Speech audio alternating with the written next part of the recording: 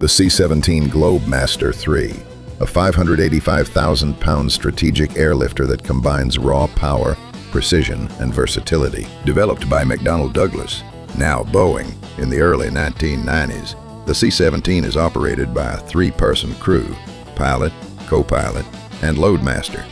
It's designed to transport troops, vehicles, and cargo directly to forward operating bases or remote airfields around the world. The C-17 is unarmed, focusing on transport rather than combat. Its main strength is rapid delivery, whether it's paratroopers, armored vehicles, or humanitarian aid.